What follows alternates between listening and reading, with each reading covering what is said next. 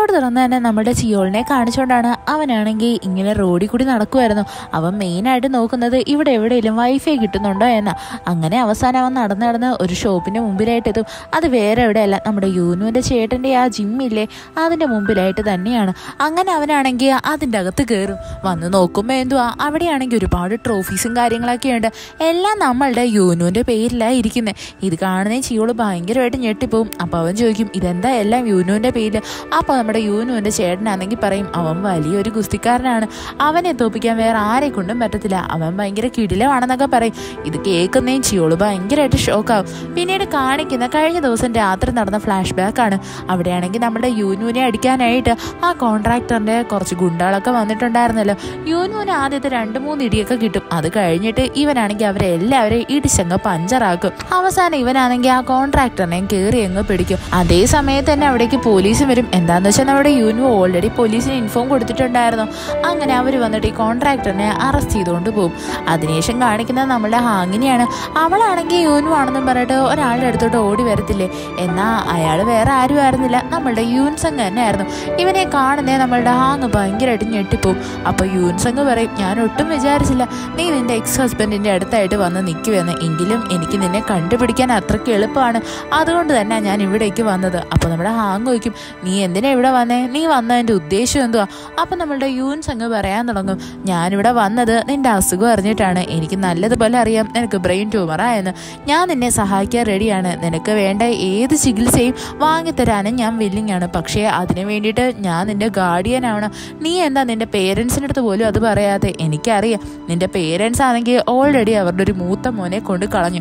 ഇനിയിപ്പോൾ അവർ രണ്ടാമത്തെ മോളെയും നഷ്ടപ്പെടുത്തുമെന്ന് ആലോചിച്ച് അവർ വിഷമിക്കുമെന്ന് കരുതിയിട്ടല്ലേ നീ അവരുടെ ഒന്നും പറയാതെ? അപ്പം നമ്മുടെ അങ്ങ് പറയും അത് നിന്നെ ബാധിക്കുന്ന കാര്യമല്ല. നീ അതിനകത്ത് തലയിടണ്ട എന്ന്. അപ്പോൾ യൂൻസങ് പറയും നിന്റെ പൊസിഷൻ ഇപ്പോഴും ഞാൻ പഴയതുപോലെ തന്നെ സൂക്ഷിച്ചു വെച്ചിട്ടുണ്ട്. നീ അവിടോട്ട് വരുന്നെങ്കിൽ വാ. രണ്ട് ദിവസത്തിനുള്ളിൽ ഞാനൊരു പ്രസ് മീറ്റിംഗ് കണ്ടക്ട് ചെയ്യും. അവിടെ ഞാൻ നിന്നെ പറ്റി അനൗൺസ് ചെയ്യാം.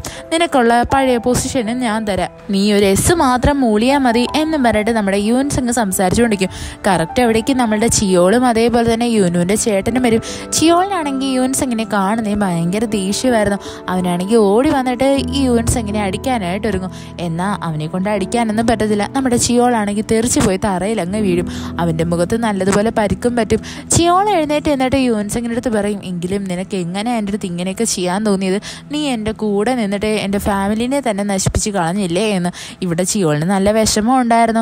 അന്നാ നമ്മളുടെ ഈ യൂൻസങ് ആണെങ്കിൽ വലിയ മൈൻഡൊന്നും ആകത്തില്ല. അപ്പോൾ ചിയോൾ പറയും നിനക്ക് എന്നോട് ഒരു സഹായമെങ്കിലും ചെയ്തുകൂടെ ഡീഹി എവിടെയാണെന്നെങ്കിലും പറഞ്ഞൂടെ? എന്നാൽ നമ്മളുടെ യൂൻസങ് ആണെങ്കിൽ ഒന്നും മിണ്ടാണ്ട് അവിടെ നിന്ന് അങ്ങ് പോവും. അത് കഴിഞ്ഞിട്ട് കാണിക്കുന്നേ നമ്മുടെ ഈ ചിയോളിനെ ആണെങ്കിൽ യൂനുവിന്റെ ചേട്ടനും അതേപോലെ തന്നെ ഹാങ്ങും കൂടി ചേർന്നിട്ട് സമാധാനിപ്പിക്കുന്നയാ. അവിടെ നമ്മുടെ ഹാങ് ആണെങ്കിൽ ഈ ചിയോളിന്റെ അടുത്ത് പറയും ഇന്ന് ഈ യൂൻസങ് ഇവിടെ വന്ന കാര്യം നീ ആരുടെ പറയണ്ട.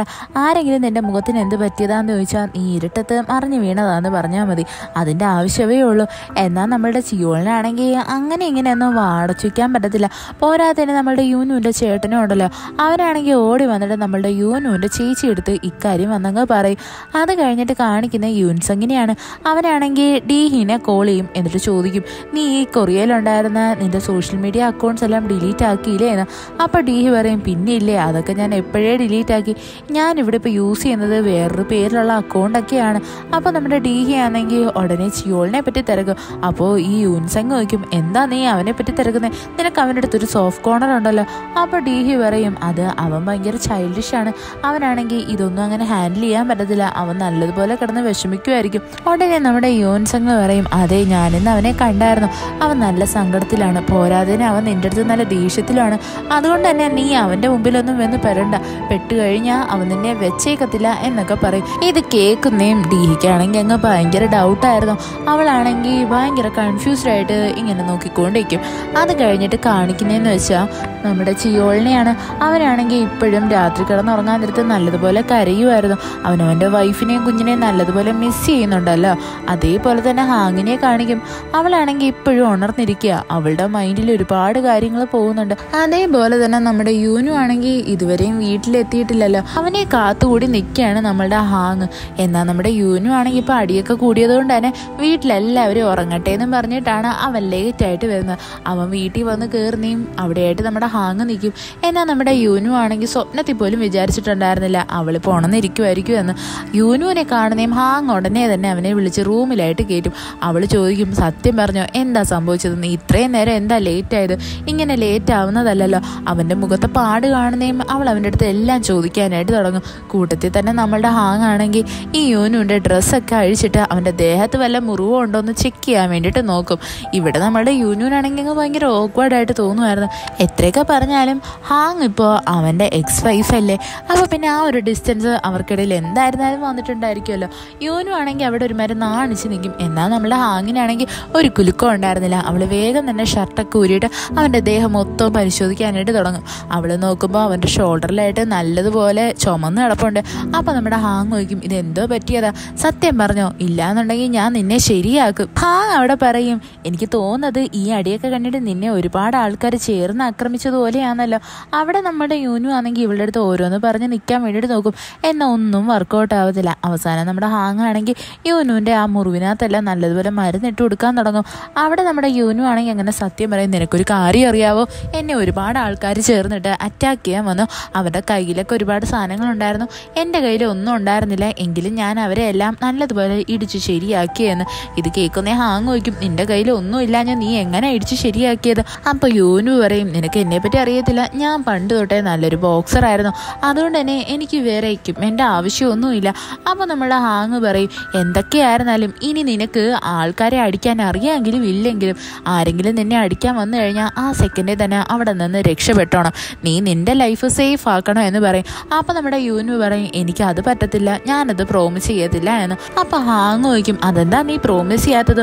ഉടനെ യൂനു പറയും അത് ഞാൻ നിന്റെ പേരിലാണ് ഒരു പ്രോമിസ് ചെയ്തേക്കുന്നത് അതെനിക്ക് അങ്ങനെ ഇങ്ങനെയൊന്നും ബ്രേക്ക് ചെയ്യാൻ പറ്റത്തില്ല. അപ്പോൾ ഹാങ് പറയും ഓ അത് നമ്മൾ മാരേജ് ചെയ്ത സമയത്തല്ലേ നീ പ്രോമിസ് ചെയ്തത്? ഇപ്പോൾ നമ്മൾ ഡിവോഴ്സ് ആയില്ലേ? അതുകൊണ്ട് തന്നെ അത് വാലിഡ് ഒന്നും ആയിരിക്കത്തില്ല. എനിക്ക് ഒരു കാര്യം മാത്രമേ നിന്റെ അടുത്ത് പറയാനുള്ളൂ. നിന്നെ ഇനി ആരടിക്കാൻ വന്നാലും നീ നിന്റെ ലൈഫ് സേഫ് ആക്കണം. എനിക്ക് പ്രോമിസ് ചെയ്തേ പറ്റത്തുള്ളൂ എന്ന് പറഞ്ഞിട്ട് നമ്മുടെ യൂനുവിന്റെ അടുത്ത് ഹാങ് ഭയങ്കരമായിട്ടിരുന്ന് വാശി പിടിക്കും. അവസാനം നമ്മുടെ യൂനു ആണെങ്കിൽ അവൾക്ക് പ്രോമിസ് ചെയ്യാൻ റെഡിയാവും ഇവിടെ ഇവർ രണ്ടുപേരും സംസാരിച്ചുകൊണ്ടിരിക്കുന്നത് തന്നെ ഡിവോഴ്സ് ആയ കപ്പിളിനെ പോലല്ല.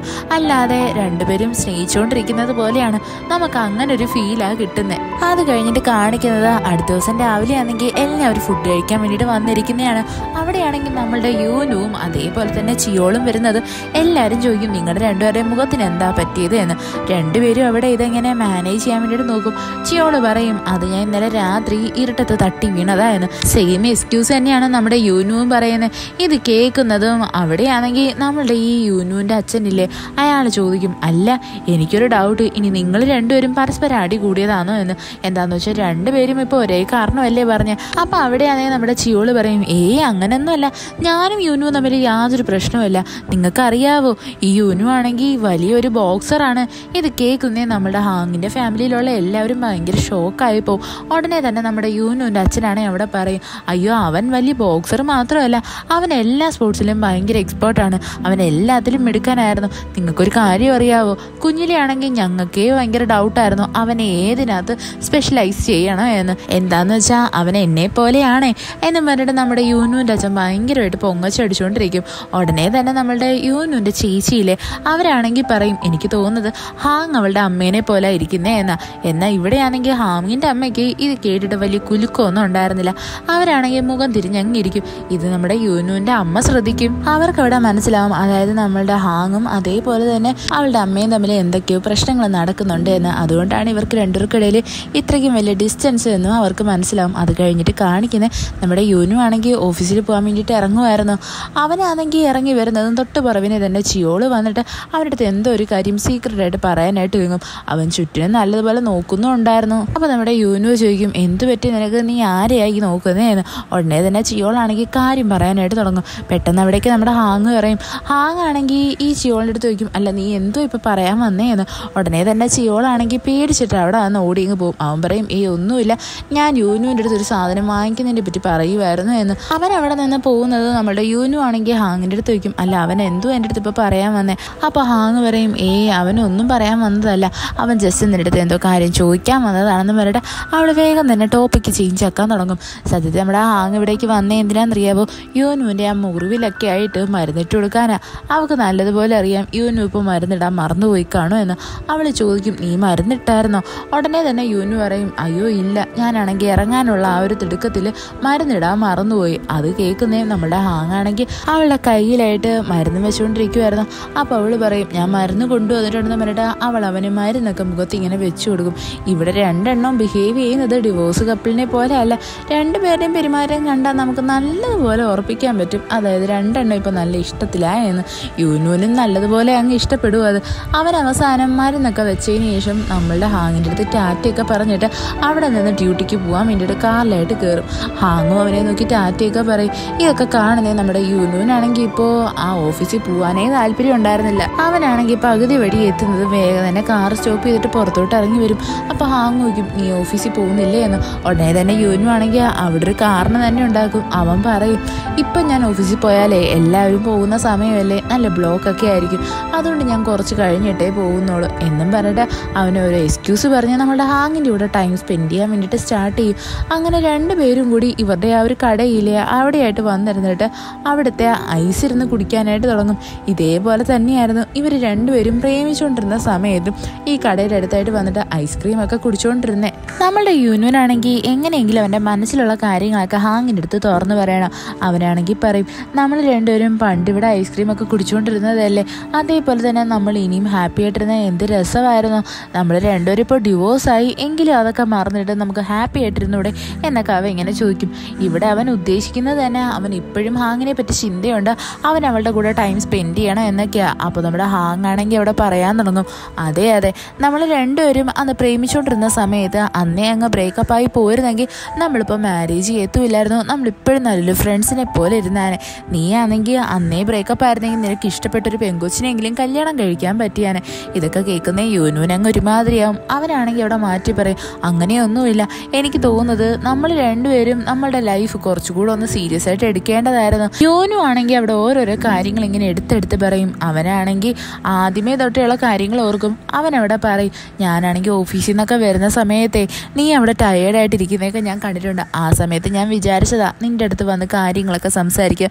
നിനക്ക് എന്താ പ്രശ്നമെന്നൊക്കെ ചോദിക്കാമെന്ന് എങ്കിലും ഞാനൊന്ന് വേണ്ടാന്ന് വെച്ചു. ഇത് കേൾക്കുന്നേ നമ്മുടെ ഹാങ്ങവനെ നല്ലതുപോലെ തുറച്ചു നോക്കും യഥാർത്ഥത്തിൽ അവൾ അവിടെ അവന് വേണ്ടിയിട്ട് വെയിറ്റ് ചെയ്തിരിക്കുമായിരുന്നു അവളും വിചാരിക്കും ഇവൻ എന്റെ അടുത്തൊന്നും ചോദിക്കാണ്ട് അങ്ങ് പോയല്ലോ എന്ന്.